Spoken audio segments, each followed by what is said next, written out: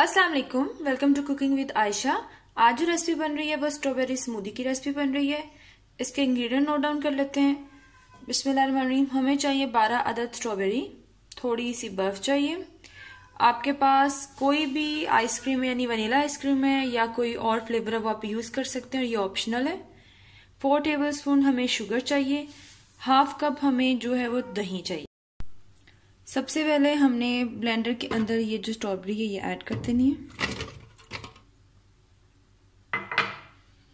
साथ sugar add कर देनी है।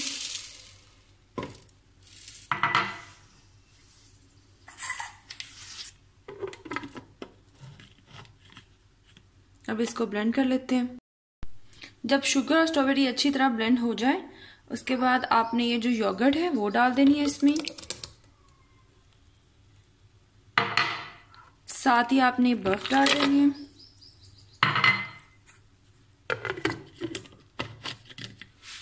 अगेन ब्लेंड कर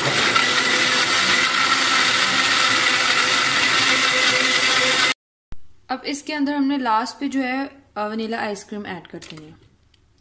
ये ऑप्शनल है, अगर आपके पास वनीला आइसक्रीम ना हो तो आप नहीं ना भी ऐड कीजिएगा।